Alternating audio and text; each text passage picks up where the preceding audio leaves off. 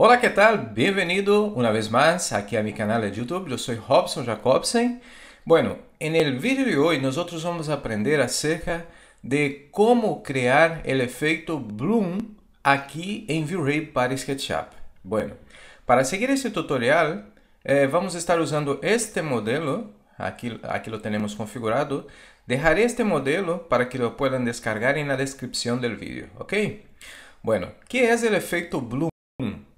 Si entramos aquí en Google y vamos aquí a, poner, a ver, aquí aparece Bloom Effect, entramos aquí en imágenes, vamos a ver, por ejemplo, en esta imagen, que hay aquí una representación sin el bloom y con el bloom. Observen qué es el bloom. El bloom es el resplandor que, que tiene las, eh, la iluminación, ¿no? En, en, realidad normalmente por la noche, cuando sacamos foto de una, de una iluminación, nos sale de esta forma. Ese efecto bloom que usamos para, para los LEDs y para la iluminación en general.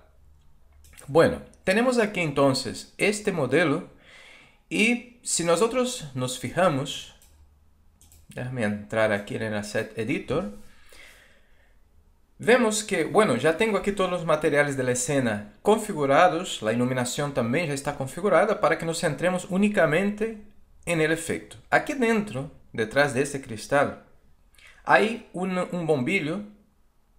Uh, aqui está o bombilho. Se entramos em su material, aqui lo temos. E esse material está com este colorcito amarillo, como vocês podem ver. El color puede ser cualquiera, ¿no? No, no importa.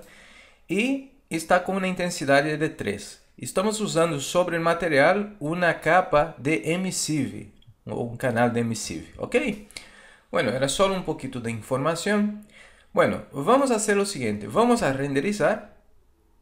Yo he puesto para renderizar, como podéis ver aquí en... Déjame subir un poquito más. Está todo apagado, ¿no? É interativo, progresivo, está todo apagado. E la, qualidade, em la calidad, lo que hice foi poner aqui calidad média e bajar el límite el límite del ruido, del noise, a um valor de 0,01. Ok? Nada más. Bueno, todo isso já está configurado, era só uma informação. E aqui está também o tamanho da imagem que vamos renderizar. Está é, é uma imagem tipo retrato, não? Portrait, de 720 por 900. Ok, vamos diretamente ao assunto. Assim que vou dar a renderizar para ter a imagem que vamos estar usando, que é esta. Ok, vamos deixar renderizar e quando esteja terminado volveremos para seguir com nosso tutorial. O renderizado já está quase terminando. Me gostaria comentar que este vídeo es parte del curso avanzado de V-Ray 3.4 para SketchUp. Si todavía no conoces mi curso, pues dejaré un enlace en la descripción de este vídeo para que puedas conocer, visitar mi página y ver el curso que ofrezco ahí para que, para que seas un profesional, que aprenda técnicas profesionales de renderizado. Muy bien, ya tenemos aquí terminada nuestra imagen, ya terminó el renderizado, quedó bien.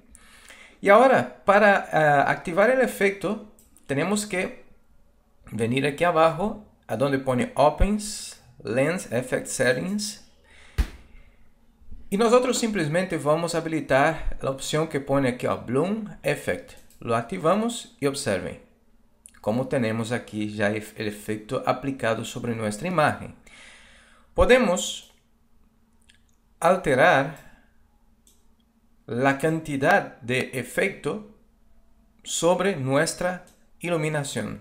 Teniendo en cuenta que cuanto más efecto ponemos, toda la imagen se va quedando también un poco difuminada con el mismo efecto, se va aplicando. A mí, en lo particular, me gusta más usar esta técnica en Photoshop, porque en Photoshop tengo un control más en donde estoy aplicando el efecto del bloom. De todas formas, nosotros podemos eh, en el Shape, podemos poner, bajar, no, subir más el shape, de manera que el efecto se va quedando un poco más concentrado eh, aquí en el centro. Eh, también podemos eh, subir el tamaño. Observen que, que, el halo de luz se va haciendo más grande a la medida que vamos su subiendo aquí la intensidad. Entonces, es un efecto interesante. Observen cómo, cómo ha quedado. Es un efecto profesional y se aplica a toda la iluminación que haya en el proyecto. Si hay tres o cuatro luces, si hay LED, pues se aplica sobre toda la iluminación, incluso sobre las zonas que, que hay, por ejemplo, una, una eh, reflexión aquí de luz. La luz está reflectiendo aquí, aquí también, y se aplica también el efecto de esta forma, ¿ok? Hay otro efecto que podemos estar usando aquí, que es el efecto del glare, o glare. Vamos a activarlo aquí. Aquí en el tipo vamos a poner aquí eh, eh, desde cámara y observen lo que pasa. Este efecto es un efecto de deslumbramiento, es un efecto de, de brillo que se aplica a toda la imagen. ¿ok? Aquí podemos eh, poner más o menos según lo que queramos. Es un efecto que no se utiliza mucho, pero observen cómo se ha deslumbrado aquí la imagen. ¿no? Incluso podemos poner menos aquí y observen.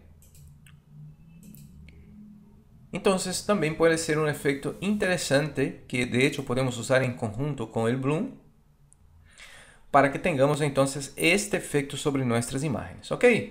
Entonces, amigos, así es como se aplica ese efecto. Aquí simplemente ahora tenemos que guardar la imagen, ¿no? Venimos y guardamos y ya tenemos ahí la imagen terminada para enviar para nuestro cliente, para, para, bueno, para lo que sea. ¿Ok? Entonces ahí ya está, este es nuestro tutorial para hoy, espero que les haya gustado.